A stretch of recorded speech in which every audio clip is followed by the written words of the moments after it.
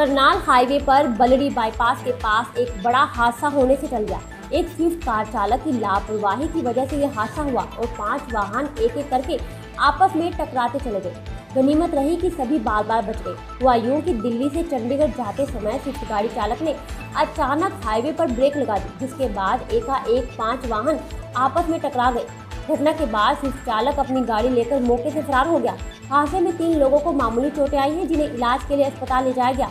वही घटना की सूचना मिलते ही पुलिस मौके पर पहुँचे और मामला दर्ज कर फरार गाड़ी चालक की तलाश शुरू कर दी है। बस पुल पर चढ़ते टाइम दिल्ली से चंडीगढ़ रोड क्या कौन से हॉस्पिटल में ये गाड़ियाँ टकराई है अभी।